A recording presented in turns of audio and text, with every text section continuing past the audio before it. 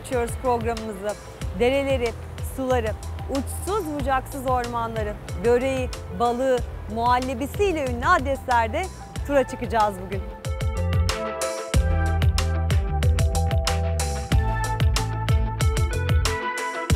Sarıyer ilçesinin Büyükdere ve Bahçeköy semtlerini adım adım arşınlayacağız. Balıkçı takalarına el sallayıp mis gibi börek kokusunu takip edip doğa ve tarihle buluşacağız. Bizimle birlikte Sarıyer sokaklarında kaybolmaya var mısınız? Buyurun o zaman.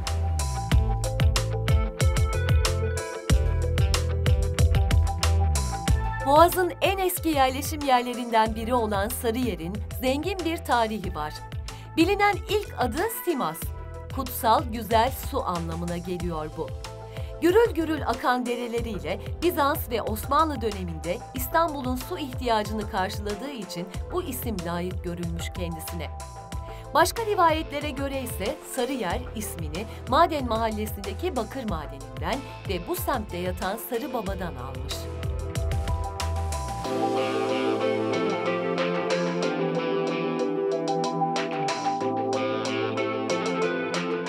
Şimdinin ilçesi Sarıyer, Bizans ve Osmanlı'nın gözde semtlerinden biriydi.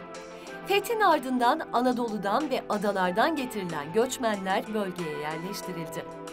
İlk iskan böylece başlamış oldu. Osmanlı döneminde devletin ileri gelenleri çeşmeler, av köşkleri, konak ve yalılar yaptırdı bölgeye.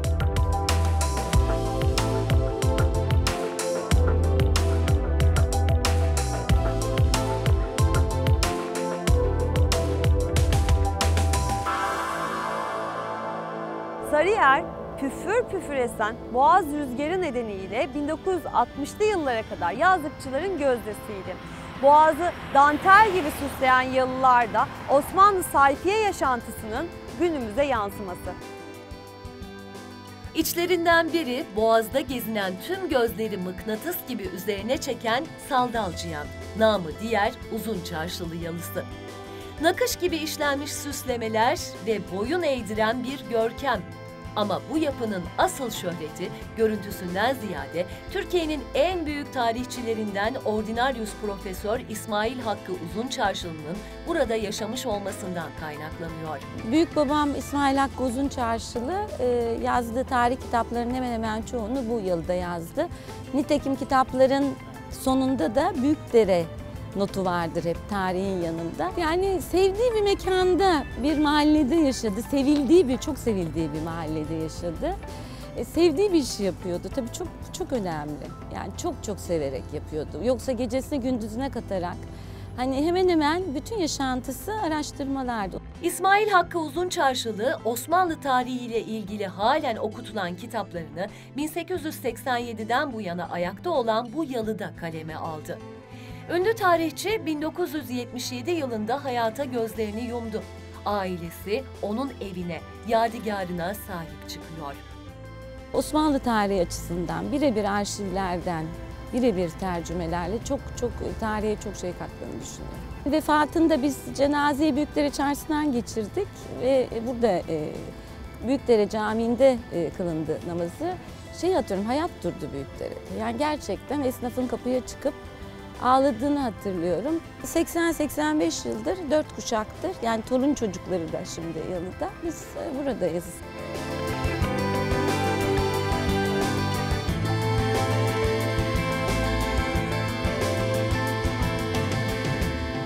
Büyükdere'nin dikkat çeken yalıları arasında elçilik ve konsolosluk binaları da var. Bugün Amerika Birleşik Devletleri'nden Avusturya'ya, Çin'den Japonya'ya pek çok ülkenin dış temsilciliklerini barındıran Sarıyer, en diplomatik ilçe olma yolunda ilk adımları 18. yüzyılda attı. Bölge yabancı ülkelerin gözdesiydi. Hala da öyle.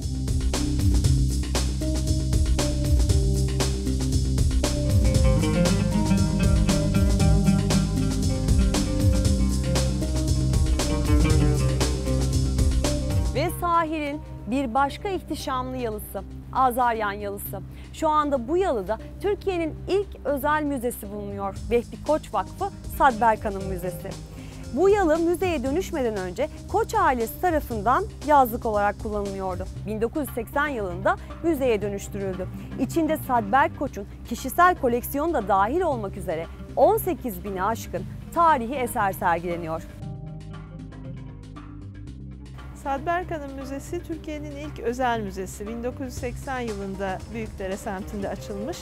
Ee, Azaryan Yalısı adı verilen 19. yüzyıl sonlarında yapılmış olan arkamda gördüğünüz yalının içinde ilk defa Türk İslam Eserleri bölümü ile açılmış. Daha sonra 1988 yılında e, diğer taraftaki arkeoloji bölümündeki eserler de koleksiyona katıldıktan sonra arkeoloji bölümü de mevcut olmuştur. Sadberk Koç'un e, koleksiyonu bu müzenin çekirdeğini oluşturmuş vaziyette. E, Türk İslam Eserleri bölümü ağırlıklı olarak tabii burada yer alıyor Sadberk Koç'un koleksiyonu. Kendisi tekstil türünden eserler, e, tuğralı gümüşler, porselenler toplamış ve e, bunlar yaklaşık 3-4 bin parçadan oluşuyor. Bunun üzerine günümüzde Müze 18 bin parçaya ulaşmış hatta bunu geçmiş durumda. Sadberk Hanım Müzesi tekstil türünden eser e, koleksiyonuyla da oldukça önemli bir müze. Çünkü çok seçkin ve çok sayıda kıyafet, işleme ve dokuma türünden eser koleksiyonumuz da bulunuyor. E, kıyafet koleksiyonumuz belki de Türkiye'deki en çok sayıda e, eseri barındıran ve yüksek kaliteli.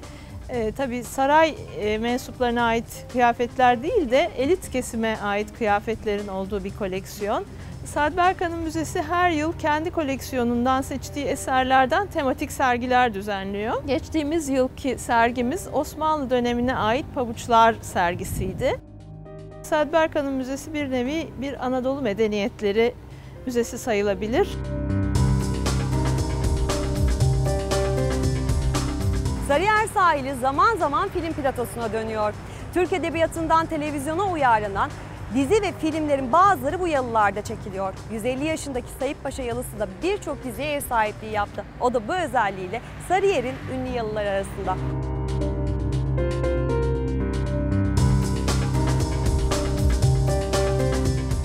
Sahili süsleyen yapılardan biri de Ermeni cemaatine ait 130 yıllık tarihi geçmişi bulunan Surp Boğaz Ermeni Katolik Kilisesi. Sadece sahil şeridi değil, Büyükdere'nin iç kesimlerinde de çok sayıda tarihi eser niteliğinde bina var.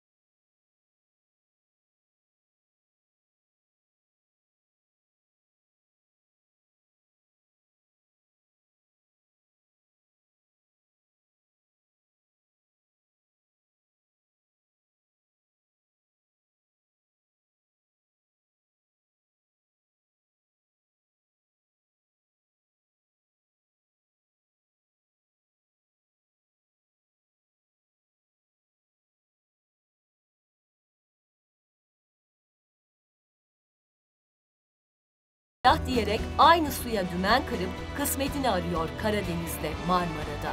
Asırlardır yan yana.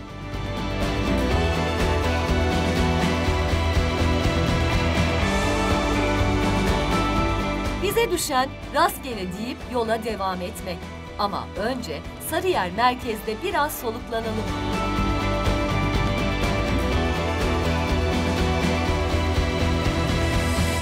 Sarıyer'in ünlü sınırları aşmış pek çok lezzeti var. Önce o meşhur böreğinden başlamak istiyorum.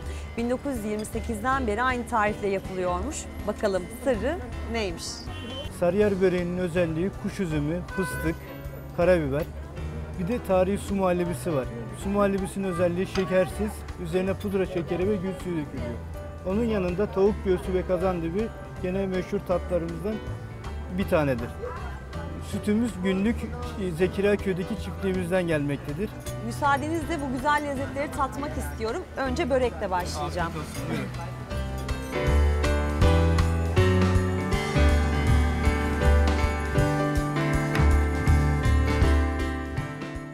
Börek benden tam not aldı. Şimdi diğer ünlü lezzet su muhallebisiyle damakları şenlendirme zamanı. Ama su muhallebisinin özel bir yeme şekli var.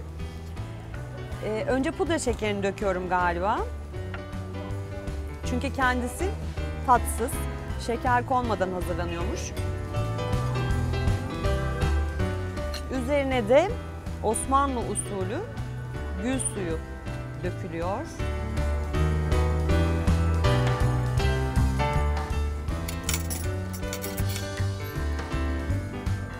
Şeker eridi.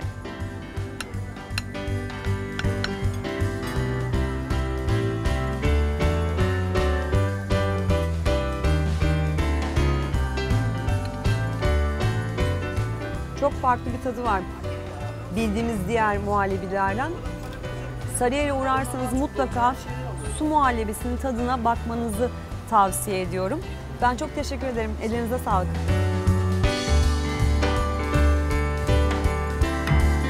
Bu güzel İstanbul semti tabii ki birçok sanatçının yaşamak için öncelikli tercihi oldu. Yeşilçam'ın dev ismi Tamer Yiğit de onlardan biri. Öncelikle hoş geldiniz ve merhabalar. Sarıyer'de yaşam nasıldır?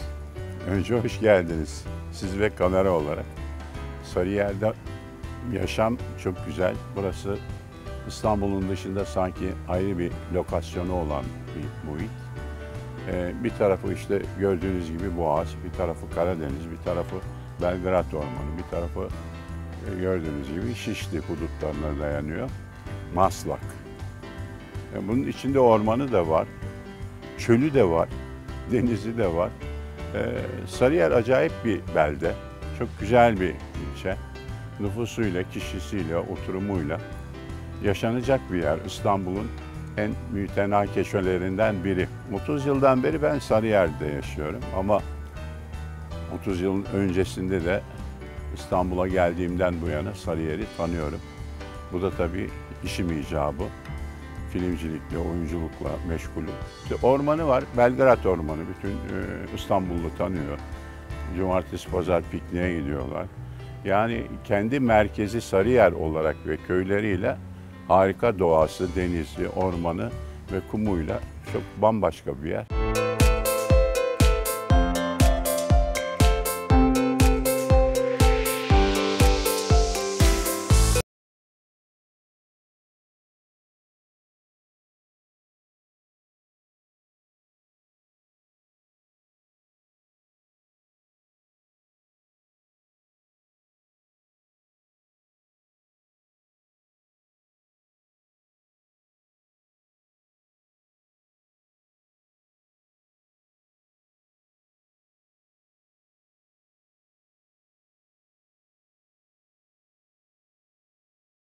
Zaman zaman benim de şehir hayatından kaçmak için geldiğim yerlerden biridir.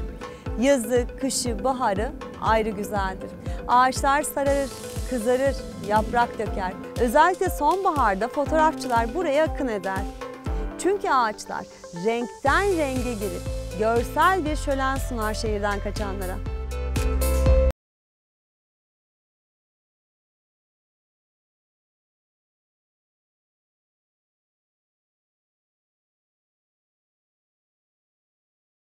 Usta ressamım diyeni kıskandırır şu tablo.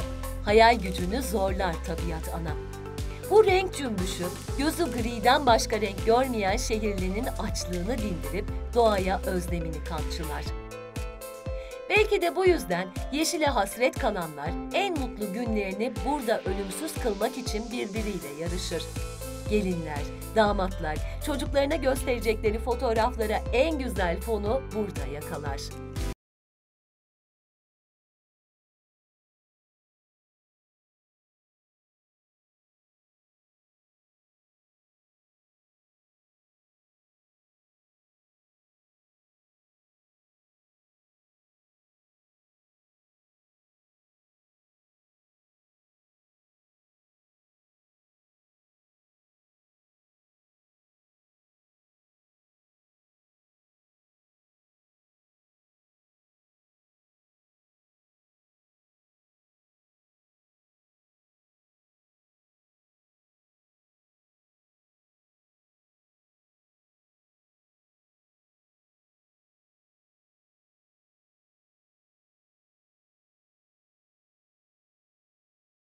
Yanıtı Kanuni Sultan Süleyman'ın 1521 Sırbistan seferi dönüşünde saklı.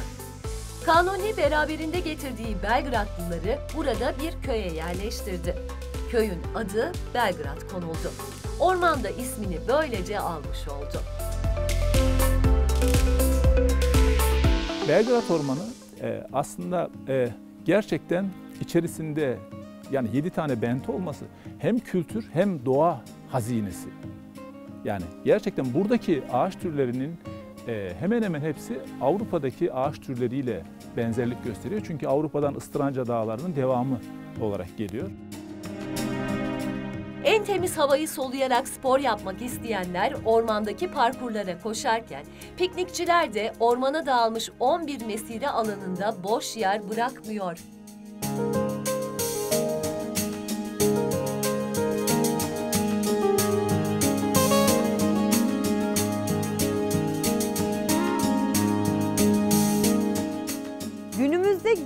gürül akmasa da kimi Haliç'e, kimi Karadeniz'e, kimi Boğaz'a dökülen 24 dere var Sarıyer'de. O nedenle çok sayıda markalaşmış su kaynağı da mevcut. Belgrad Ormanı içindeki Bentler Tabiat Parkı, eski İstanbul'un su ihtiyacının nasıl karşılandığını fısıldıyor misafirlerine. Sarıyer aslında küçük bir e, kasabayken birdenbire İstanbul kentinin önemli bir e, merkezi haline geliyor. Çünkü İstanbul'un e, su ihtiyacı var. Kentin nüfusu arttıkça su ihtiyacı da sürekli olarak artıyor. Bu ihtiyacı karşılayabilmek için etrafta araştırmalar başlıyor. Bu çerçevede İstanbul'da 3 tane su yolu ortaya çıkıyor. Bunlardan bir tanesi Halkalı su yolu, e, bir tanesi Kırkçeşme su yolu, bir tanesi de e, Taksim su yolu. Bu üç tane su yolundan iki tanesi Belgrad Ormanı'ndan e, kaynaklanan, Belgrad Ormanı'na düşen yağışların toplanan suları, buradaki suları toplayarak e, şehre götürüp toplumun su ihtiyacını karşılamak üzere çalışmalar yapılıyor. Kanuni Sultan Süleyman İstanbul'da su sıkıntısını bitirmek adına Mimar Sinan'a emir verdi ve Kırkçeşme su yolu kuruldu. Buradaki yedi tarihi bentten dördü, Kömürcü, Ayvaz, Kirazlı ve Büyükbent bu sistem için su tutuyordu. Su ihtiyacı arttıkça bentlerin sayısı çoğaldı.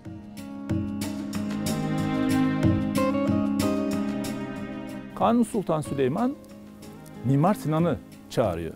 Diyor ki Lala git bak bakalım yani Belgrad Ormanı'nda e, sular yeterli mi? Burada ben 40 çeşme yaptırmak istiyorum bütün e, semtlere diyor. Mimar Sinan Haliç'ten başlayarak Ali Beyköy Deresi ve Kağıthane Deresi boyunca Belgrad Ormanı'na geliyor ve buradaki bütün dereleri inceliyor ve onların akımlarını lülelerle ölçüyor ve ondan sonra padişaha sunuyor. Diyor ki buradaki sular e, yeterli su miktarı var ve bu suları bir araya toplayarak biz bunu künklerle, Bizanslıların künkleri de var diyor, onları da e, gördüm. Onlarla birlikte biz bunu diyor e, şeye getiririz. 1550'de başlıyorlar, 1564'te tamamlıyorlar. Yani 14-15 yıllık bir emeğin sonunda e, bu işler ortaya çıkıyor. Bu Kırkçeşme su yolunda o zaman e, künkler var, e, kemerler var fakat bentler yok. Yani şu anda Belgrad Ormanı içerisinde 7 tane bent var. Yani bu 7 tane bentin e, yani 4 tanesinin suyu e, Büyük Bent'e dahil olmak üzere Kırkçeşme sularına gidiyor. Taksim su yolu ve e, Kırkçeşme su yollarının hikayesi Kanuni Sultan Süleyman zamanında başlayıp 1830 yılında yani bütün bentleriyle, kemerleriyle e, bütün su yolu tamamlanmış e, oluyor. E, dolayısıyla bu sistem hala aktif olarak çalışıyor. Şu anda üzerinde bulunduğumuz 2. Mahmut Bendi 1839 yılında yapıldı. Bentin uzunluğu 101 metre ve 217 bin metreküp su topluyordu. Taksim ve civarının su ihtiyacı hemen arkasındaki Valide Sultan Bendi, Topuzlu bentleriyle birlikte bu üç bent tarafından karşılanıyordu. Padişah bu bendin temel atma töreni için çayır başına giderken bölgede çok az ağaç olduğunu fark edip ağaçlandırma talimatı verdi. Çayırbaşı, Bahçeköy arasına yüzlerce ağaç dikildi. İşte o çınarların bazıları günümüze kadar ulaşmayı başardı. Bu Bugün altından araçların geçtiği Bahçeköy su kemeri de o tarihi su yollarının bir parçası. 1731 yılında Sultan 1. Mahmut tarafından yaptırıldı. 21 gözlü kemerin uzunluğu 409, yüksekliği 27 metre. Bu kemerden sarayla birlikte Beyoğlu, Beşiktaş, Ortaköy, Galata, Kuruçeşme, Arnavutköy ve Kasımpaşa'ya su verilmekteydi. Medeniyet suyla gelirdi. Bu kemerler de medeniyetin en büyük kilometre taşlarından, köprülerinden biri oldu. Su aşağıya inmeden, seviyesi düşmeden, hızı kesilmeden nasıl mı taşınacaktı? Elbette iki tepeyi birbirine bağlayan bu kemerlerle. Bentlerde toplanan akarsu ve yağmur suları sur içine bu kemerler vasıtasıyla aktarılıyordu. Büyükdere sırtlarından Belgrad Ormanı ve tarihi su bentlerine kadar uzanan bu arazi Bilezikçi Çiftliği.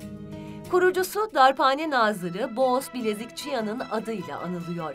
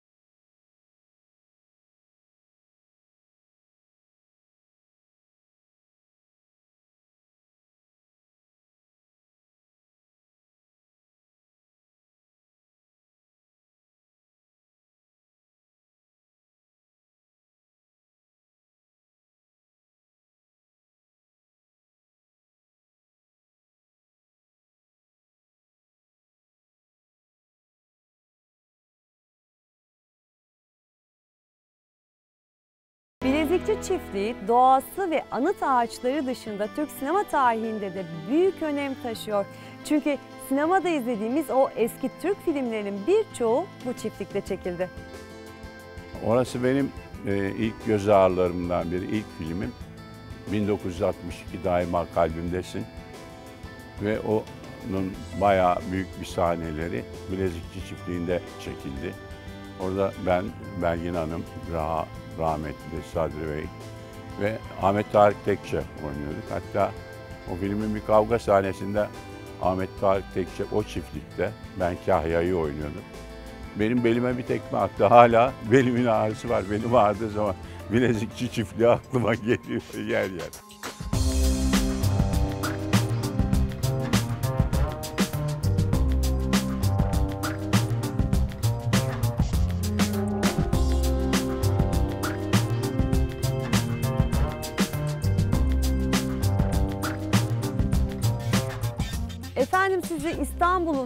Görkemli anıt ağaçlarından biriyle tanıştırayım. Sarıyer tarihinin en eski tanıklarından yaklaşık 600 yaşında. Ama zaman onu yorgun düşürmüş. Bazı dalları boylu boyunca uzanıyor. Bu görüntüsü nedeniyle halk arasında ahtapot çınar veya uyuyan çınar olarak anılıyor.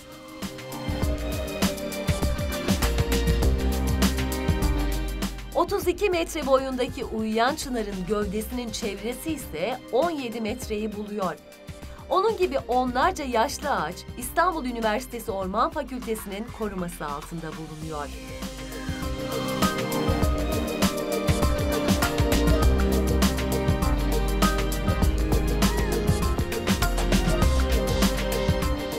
Sarıyer'deki gezimiz burada sona erdi. Benim için öğretici ve keyifli bir gezi oldu. Umarım sizler için de öyle olmuştur. Yolumuz yeniden ilçeye düşecek. Başka başka semtlerini de gezeceğiz. Yeniden görüşünceye dek hoşça kalın. Semtinize ve semtinizdeki suretlere daha yakından bakın.